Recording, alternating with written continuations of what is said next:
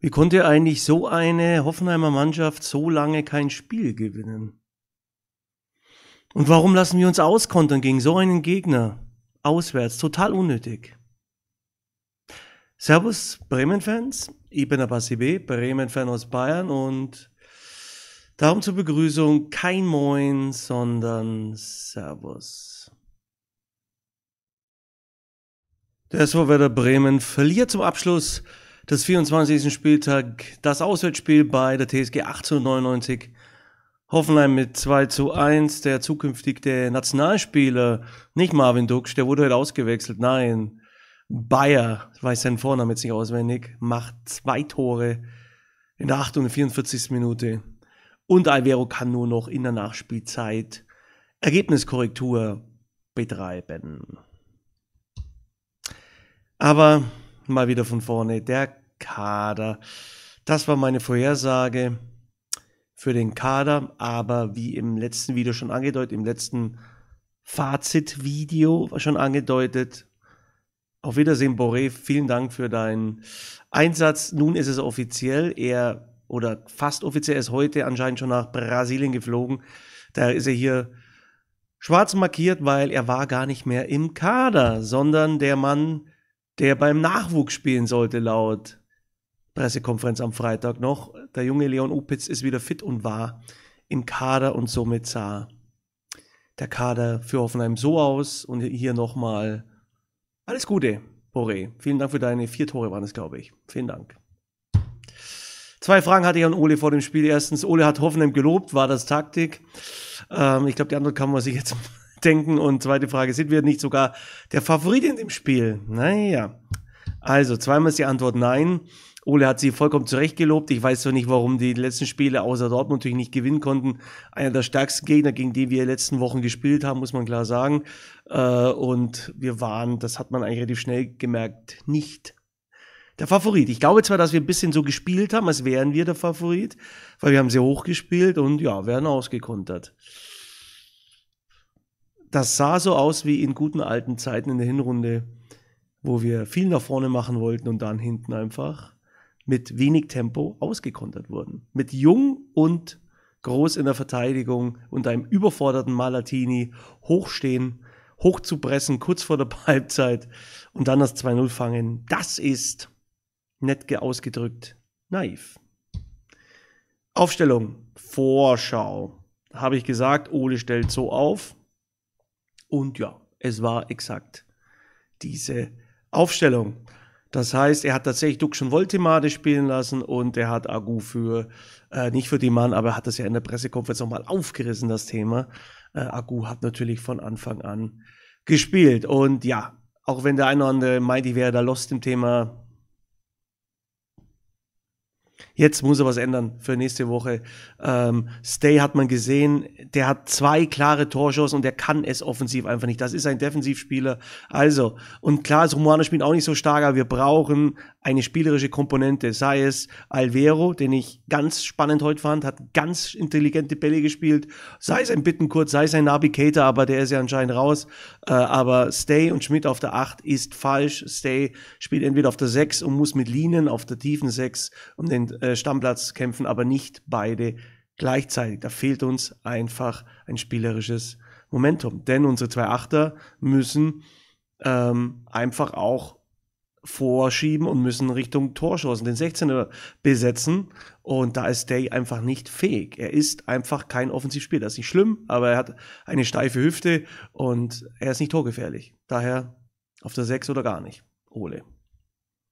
Im Übrigen, Malatini kann ich nur sagen, aktuell, klar, muss er spielen, wir haben keinen, aber Malatini ist am Rande des nicht ähm, fähig, Bundesliga zu spielen. Das ist super nervös, das ist ähm, super unkontrolliert gegen Bayer. Das ist für mich ein klarer Elfmeter.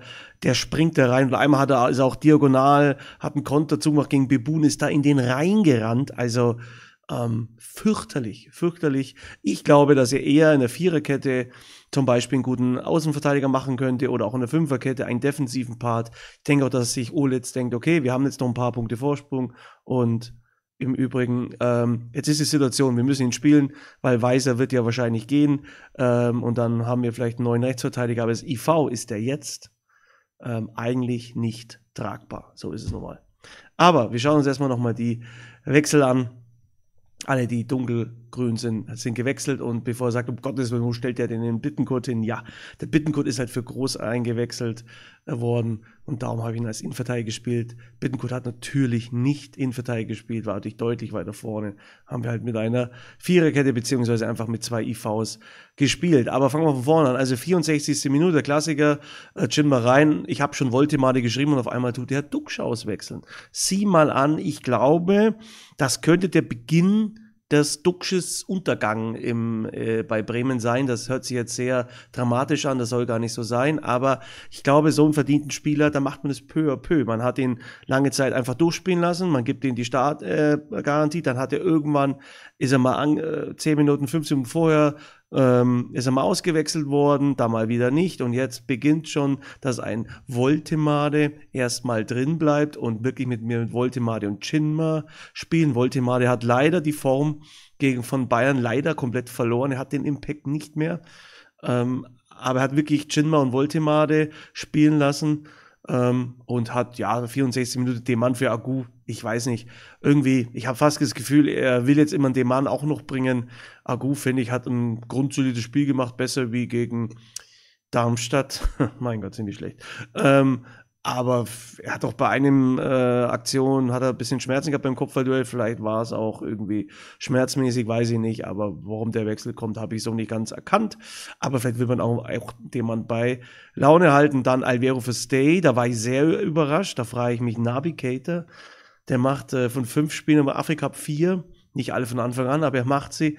Und ja, also ich glaube, wie gesagt, ich habe letzte Woche schon gesagt, Nabi Keita macht kein Spiel mehr für den SV Werder Bremen. Schade irgendwie, aber ist dann anscheinend so. Ähm, Alvero hat mir sehr gefallen, weil er tatsächlich ein sehr tolles Passspiel hat. Äh, ich habe mir mal so ein Highlight-Video angeguckt, was ich eigentlich sehr ungern mache, weil ich das total überbewertet finde. Aber Alvero fand ich richtig, richtig gut, sehr spannend. Und Kovnatski gegen Voltemade, da gefällt mir die Körpersprache gar nicht, Kovnatski. Du bist nur am Meckern, nur am Lamentieren und kriegst gar nichts auf die Kette, Junge. Äh, konzentrier dich mal auf dich selber, schau, dass du Fußball spielst. Das nervt wirklich. Und bitten gut für groß, ja. Bittencourt muss da früher rein mit seiner Frechheit, mit seinem Spielwitz, mit seiner Aggressivität. Ähm, der gehört einfach rein und wer das nicht äh, äh, versteht, ja, der sieht halt den Fußball anders wie ich. So ist es normal. Der kommt, muss früher rein. Er wird auch gegen Dortmund spielen. Da bin ich mir sehr, sehr sicher. Und der Wechsel ist ja nur, weil wir hinten drin sind und unbedingt noch zwei Tore brauchen. Somit hat Pavlenka, Röcke, Opitz und Keita keinen Einsatz. Navigator. Bei Pavlenka zwei Tore okay, Röcker äh, ist eigentlich ein äh, Regionalligaspieler und Opitz ist ein Junge, der auch äh, bei den, beim Nachwuchs hätte spielen sollen und dann Nabi, ich habe schon die Champions League mit Liverpool gewonnen oder bin Meister mit Liverpool geworden. Cater, spiele keine Sekunde. Das ist ein klares Zeichen von Ole. Wahrscheinlich auch richtig, man weiß es nicht. Was für ein Spiel habe ich erwartet vorher? Hoffenheim ist, eigentlich habe ich nur geschrieben, das kann man jetzt streichen, eine spielerisch gute Mannschaft und sollte den balldominanten Part übernehmen. Das haben sie auch gemacht, solange sie ähm, 11 gegen 11 gespielt haben, in Gleichzahl waren. Werder wird tiefer stehen, wie eben zuletzt Erfolgsrezept. Jein, muss man sagen. Also, naja, äh, weil wir halt dann einfach am Schluss meinten, okay, jetzt pressen wir nochmal. Klar, wir waren gar nicht so schlecht im Spiel in dieser Phase. So in letzte Viertelstunde der ersten Halbzeit, wir sehen es hier, ähm, da waren wir gar nicht so schlecht drin, aber sich dann so auskontern zu lassen. Ähm, Jung ist halt einfach zu langsam, Akku kommt da nicht hin. Malatini weiß, glaube ich, gar nicht, dass hinten der Bayer ist. Er geht doch nach vorne und kommt dann den Ball nicht hin. Das ist alles so schwach. Und Zetter holt halt so einen unhaltbaren leider auch nicht raus. Muss man nicht halten, aber kann man vielleicht, wenn man unter die besten fünf Torhüter äh, der Bundesliga gehören möchte, dann halt man den vielleicht auch. Aber ja, und dann steht es halt 2-0, dann war das Ding leider fast schon weg. Aber wir fangen von vorne an, ja die Anfangsphase, ganz Anfang, Anfangsphase, 15 Minuten war noch relativ ausgeglichen, aber dann hatte Hoffenheim auf jeden Fall eine Phase, wo sie besser waren. Dann, äh, da haben sie auch das Tor gemacht, äh, zwischen in, in, im Zehnerbereich, da habe ich sie sogar, sogar gar nicht als viel besser gesehen. Im Übrigen, habe jetzt vergessen zu sagen, ich habe es einen Tick verändert, die, die Sache, ich habe nur noch 0, 1 und 2. Also 0 heißt gleich, also ähm, auf Augenhöhe ausgeglichen, eins ist besser und zwei ist viel besser. Ich habe die Hoffenheimer selten viel besser gesehen, aber ich habe sie in der ersten Halbzeit sehr, sehr oft besser gesehen. Und dann hatten wir eben eine Phase, so zwischen 20 und der 30. Minute haben wir es geschafft, das Tempo ein bisschen rauszunehmen oder der ihre Euphorie und haben das Spiel auf jeden Fall gleichgültig oder gleichmäßig gedreht. Das war gut. Und dann, ja, war es halt zwischen der 40. und 45. Da haben wir gedacht, okay, jetzt sind wir so drin, zweimal bisschen Pfosten äh, Pech gehabt. Ähm, dann oder was einmal Pfosten, einmal gehalten. Ich weiß, irgendwie es waren zwei Situationen, ich weiß es gar nicht mehr. Ähm, auf jeden Fall, jetzt pressen wir und dann rennen wir in einen Konter rein und bis zu 2-0 hinten. Naja, also teilweise Hoffenheim klar besser, da zwischenzeitlich gut im Spiel. Das ist eben, darum geht es von, von 2 auf die 0. Werder lässt sich beim 2-0 auskontern, Probleme wie aus der Hinrunde. Ich kann mich da nur an Darmstadt und, und, und an Heidenheim-Spiel erinnern.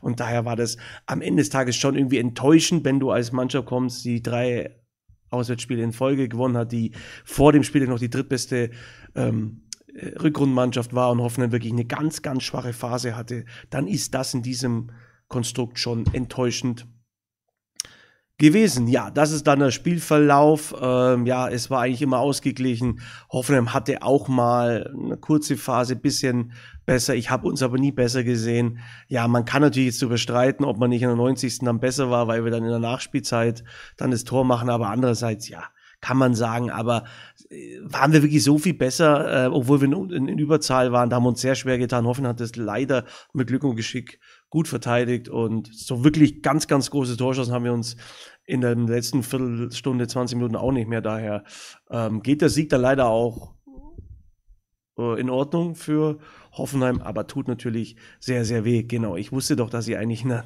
90.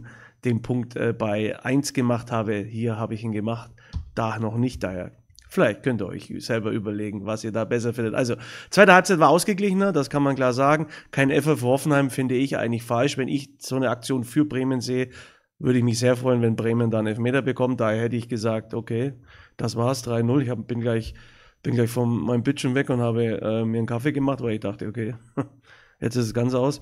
Obwohl wer dann Überzahl zu wenig Momente kreiert. Das muss man auch klar sagen. Malatini, wie gesagt, finde ich, ähm, ja, äh, darf nur spielen in der ersten Bundesliga, wenn wir keinen anderen haben. Alvero fand ich dafür stark.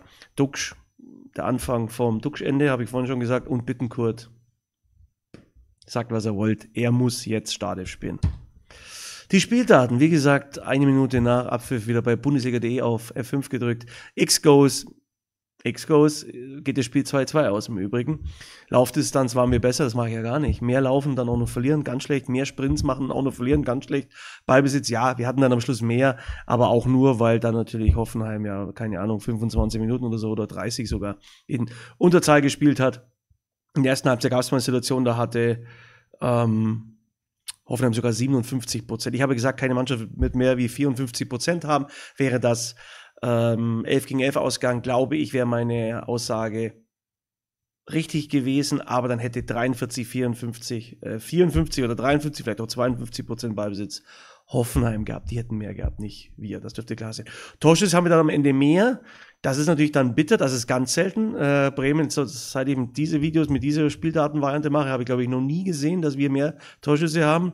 Vielleicht gegen Darmstadt, aber gegen einen ernstzunehmenden Gegner haben wir das nicht einmal gehabt. Passquote ist immer sogar besser und Zweikampf, ich glaube, wir haben sogar einen einzigen Zweikampf mehr gewonnen wie Hoffenheim, aber das muss ich ehrlich sagen, ob jetzt 81 zu 80, 80 da wollte ich jetzt nicht 49 zu 51 Prozent sagen. Daher war es ein sehr ausgeglichenes Spiel, es war ein Spiel auf Augenhöhe.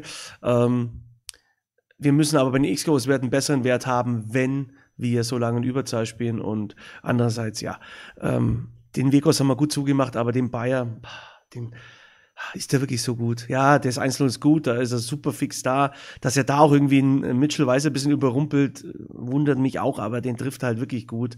Und ja, so läuft's halt einfach. Schade, schade, schade. Ich habe die Tabelle gemacht, äh, Gegensatz zu den letzten Fazit kurz nach dem Spiel. Ja, das Schöne ist ja, dass sie wirklich wenig getan hat. Wir sind immer noch Achter, aber man muss auch sagen, es sind fünf Punkte auf Platz 15 und jetzt kommen die schweren Gegner, jetzt kommt Dortmund. Jetzt kann es sein, dass wir auf einmal nichts mehr gewinnen oder wenig gewinnen und dann können wir ganz schnell auch 13, 14, 15 sein und dann fangen wir vielleicht auch noch das Zittern an und spätestens dann können wir uns sagen, ach, wir hatten irgendwann mal Mitte der 20er, 20er Spieltage mal kurz über Europa geredet, wie naiv waren wir da eigentlich. Jetzt müssen wir erstmal gucken, dass wir nochmal einen Sieg jetzt dann mal brauchen, einen zweiten mit 36 Punkte, wärst du, glaube ich, die letzten zehn Jahre wärst du immer drin geblieben direkt, dann hätten wir das Thema auch schon vom Tisch. Und dann wäre es schön, wenn wir das rechtzeitig machen, dann können wir nur gucken, wie weit es geht. Aber diese Mannschaft sollte nicht sich für Europa qualifizieren. Das wäre, glaube ich, falsch. Fazit, ja, tut weh, tut richtig weh, nervt total, weil es Momente gab, wo man zurecht verliert. Es gab auch Momente, wo man wo ein Unentschieden absolut in Ordnung gewesen wäre. Das war ein munteres Spielchen von zwei Mannschaften, die sie nicht versteckt haben. Das ist schon mal gut, dass wir wieder so ein Spiel machen können. Aber Hoffenheim Hutter gegen uns sechs Punkte und das ist sehr, sehr schade. Ich bin genervt. Manchmal mag ich den Fußball nicht. So wie heute. Einmal sage ich es noch, das ist kein Karlsruhe SC Pulli. Das ist eine andere Mannschaft. Vielen Dank fürs Zuschauen. Ich bin der Basti B. Bremen-Fan aus Bayern und darum auch zur Verabschiedung. Kein Tschüss, kein Moin. Bittenkurt muss jetzt spielen. Servus. Oder Alvero.